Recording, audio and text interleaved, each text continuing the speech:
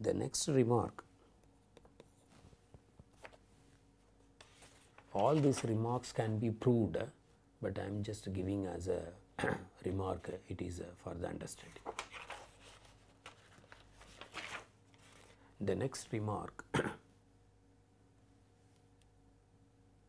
let x be a continuous type random variable let x be a continuous type random variable with CDF capital F of x. Okay.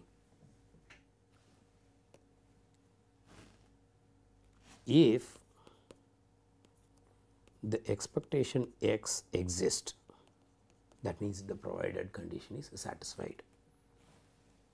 Then you can always find the value of expectation of x that is E of x that is a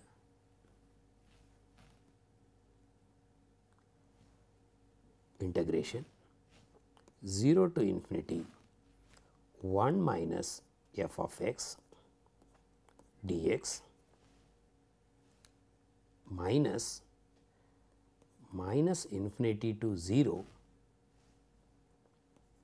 f of x dx. This is a very important result. Whenever you have a continuous type random variable with the CDF uh, capital F of x and uh, the expectation exists, then you can always uh, find the value with the help of CDF. You do not need the probability density function of that continuous type random variable. From the definition of uh, expectation when x is a continuous type random variable if you know the probability density function if the expectation exists exist then E of x is same as minus infinity to infinity x times f of x dx where that uh, small f of x that is a probability density function. But now what I am saying is uh, you do not need a probability density function with the help of CDF itself you can able to find the expectation provided it exists. Let me give a one uh, um, nice uh, uh, pictorial representation of uh, how to compute the expectation for this when x is a continuous type random variable. Recall when x is a continuous type random variable the CDF is the continuous function in the whole real line from minus infinity to infinity. When x is a continuous type random variable the CDF of the continuous type random variable is a continuous function in the whole real line minus infinity to plus infinity. Therefore, I am just making a one CDF it asymptotically touches 1 at infinity. So, this is the CDF of uh, some continuous type random variable. Okay.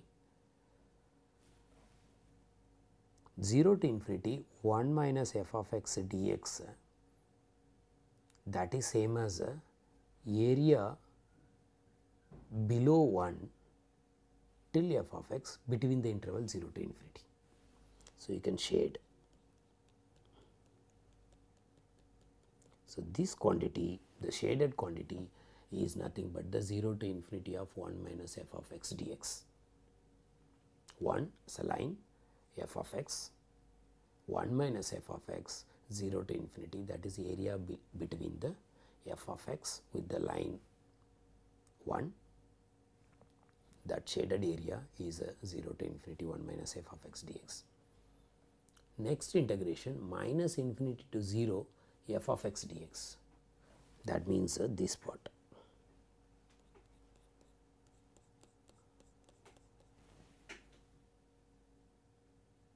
So, when you whenever the expectation exists for a continuous type random variable, this sign is with the plus sign, this sign is with the negative sign.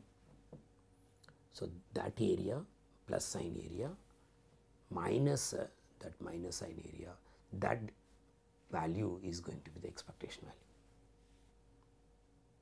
Therefore, the expectation can be negative or positive based on uh, the area between uh, minus infinity to 0 that is going to be more than or less than the area between 0 to infinity of 1 minus f of x. Suppose uh, x takes uh, x is a non-negative random variable that is a probability of x is greater than or equal to 0 is 1 using the, the first remark.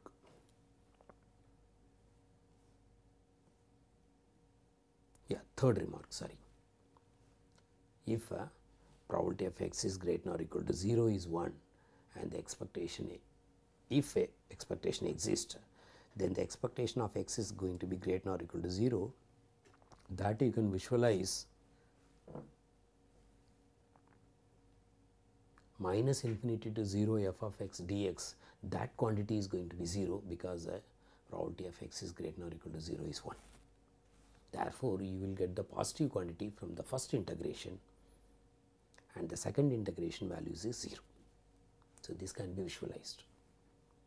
There is another remark over uh, this uh, uh, remark. I started with the continuous type random variable.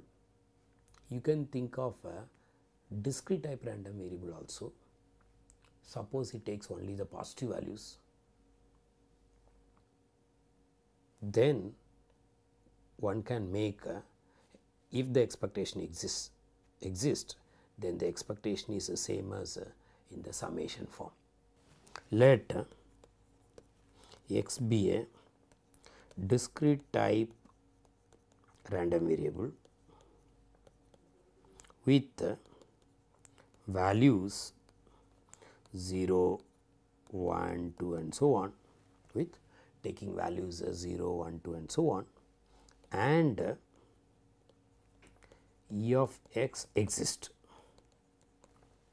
Then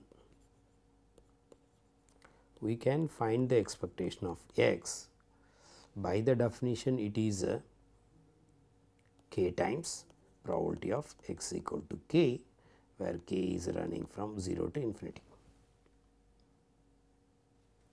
By using the previous remark we can conclude that is same as summation of uh, p of uh, x is greater than k where k is uh, running from 0 to infinity.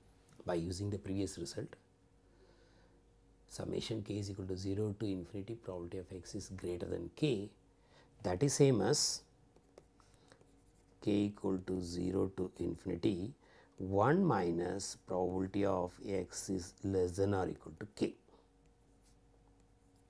I want to use similar logic of uh, 1 minus f of x. So, this is a probability of x is less than or equal to k is nothing but f of random variable x at the point k. So, this is same as E of x is a summation over k is equal to 0 to infinity 1 minus f of x at the point k. So, if you see the previous remarks when x takes the only the non-negative values then the second integration vanishes therefore, you will get the first one. So, first I give the remarks for the continuous type random variable. For a discrete type random variable, this is going to be expectation of x provided x takes the value 0, 1, 2 and so on. So, this is also very important uh, remarks for the expectation. Now, we will move into the second uh, moment that is called variance. Let me give the definition let x be the x be a random variable with the expectation of x that you call it as a mu which exists. I am going to give the notation for E of x that is mu which exists. The second order moment about the mean. That is nothing but variance is defined as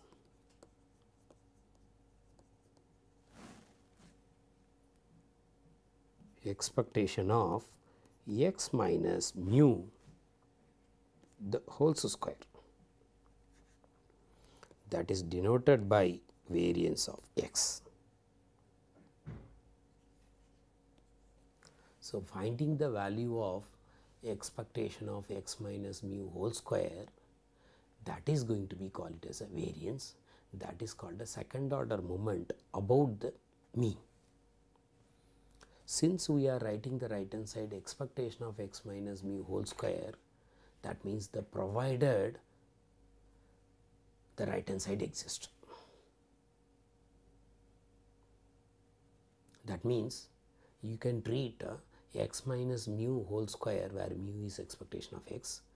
So, x minus mu whole square you can treat it as the function of x the g of x.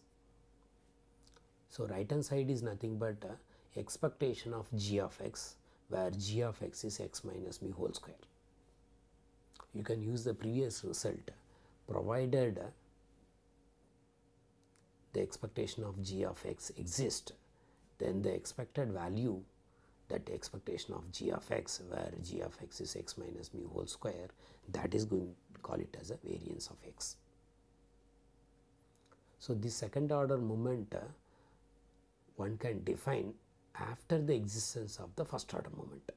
If the first order moment does not exist then one cannot define the second order moment about the mean. So, here I have given the second order moment about the mean Later I am going to introduce a second order moment about the origin that is nothing but the expectation of uh, x square by making uh, mu 0 or expectation of x square will be the second order moment about the origin. Similarly, one can define nth order moment about the origin. So, now we will discuss the variance first then later we will go for the higher order moments. So, the variance of x that is denoted by VAR of x that is expectation of x minus mu whole square. So, as I said earlier you do not need to find out the distribution of x minus mu whole square as long as you know the distribution of x and the expectation of x exists uh, expectation of x minus mu whole square exist then the value is going to be expectation of x minus mu whole square is same as variance. You can rewrite the variance of uh, x as first you have x minus mu whole square. You can expand x minus mu whole square. Therefore, after expansion you will get uh, e of x square minus e of x uh, the whole square the e of x is same as uh, mu. So, whether you compute uh, expectation of x minus mu whole square or uh, you find out the expectation of x first that is mu whole square then find out the second order moment about the origin that is e of x square then this difference is going to be the variance of x. Similar to the expectation exist or not same way for some random variable the variance may not exist even though the first order moment exists. If the first order moment does not exist, you cannot define the second order moment. So, even the first order moment exists, there are some random variable in which the second order moment does not exist, therefore, the variance does not exist. So, we can go for simple examples. The first example, let x be a continuous type random variable with the probability density function f of x the same example 2 times e power minus 2 x where x is lies between 0 to infinity 0 otherwise. So, how to compute variance of x for this problem is variance of x is same as expectation of x minus mu the whole square that is same as integration from minus infinity to infinity x minus mu the whole square f of x dx. In this problem the mu is same as expectation of x which we got it already that is uh, 1 by 2. Therefore, this is going to be minus infinity to 0 the f of x is 0 therefore, you can directly go for 0 to infinity x minus 1 by 2 the whole square f of x is uh, 2 times e power minus 2 x dx. We are not finding the distribution of x minus mu whole square, then we are finding the expectation. No, we are uh, using a expectation of g of x which I said it in the remark. So, x minus uh, 1 by 2 whole square probability density function which is greater than 0 between 0 to infinity therefore, minus infinity to 0 is vanishes. So, this is same as 0 to infinity of this. If this quantity is going to be finite then the existence also taken care. Since x takes non-negative values you are finding this. If you do the simplification you can get the value that is 1 by 4 if you do the simplification of this integration you will get the value 1 by 4. Therefore, for the random variable which is continuous type whose probability density function is 2 times e power minus 2 x when x lies between 0 to infinity, the mean is going to be 1 by 2 and the variance is 1 by 4. Later we are going to conclude this is going to be exponential distribution with the parameter 2 so, the mean is 1 divided by the parameter and the variance is uh, 1 divided by the square of the parameter. So, here the parameter is 2 therefore, it is 1 divided by 4.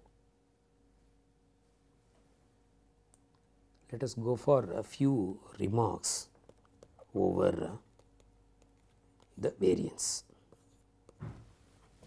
The first remark uh, variance of a constant is 0 whereas the expectation of a constant is a constant.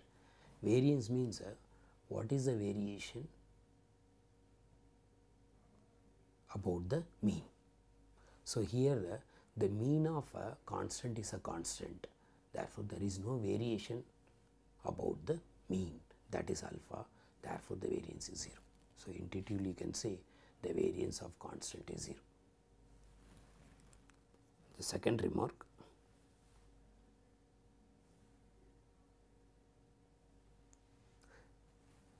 variance of uh,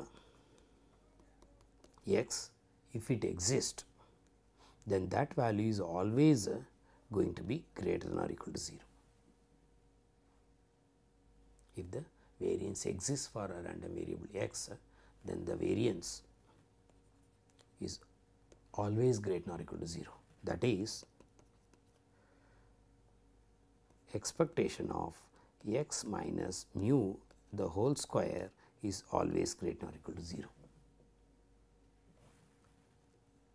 This you can say by using the remarks on the expectation. You go back when the random variable x whose probability is p of x is greater or equal to 0 is 1, then the expectation is going to be greater or equal to 0. With that logic, e x minus mu whole square whose probability is always uh, probability of uh, x minus mu whole square greater or equal to 0 is 1 because it is a non-negative random variable. Therefore, the expectation of x minus mu whole square is always going to be greater or equal to 0 because uh, whether it is a discrete random variable or continuous type random variable this is nothing but uh, if it is a discrete it is a summation xi minus mu the whole square probability of x equal to xi. And the probability mass function is greater than or equal to 0 xi minus mu whole square is a positive quantity. Therefore, uh, if it exists then the summation is going to be positive. If x is a continuous type random variable then x minus mu whole square probability density function integration from minus infinity to infinity. Again uh, integrand uh, is uh, greater or equal to 0 therefore, uh, the if the expectation exists sorry if the variance exists then this quantity is also going to be greater than or equal to 0. You can combine the remark number 1 and 2 in the form of a third remark. If uh, probability of x takes a value alpha is equal to 1 that means it is a constant. Probability of x takes the value alpha where alpha is a some number that is 1 then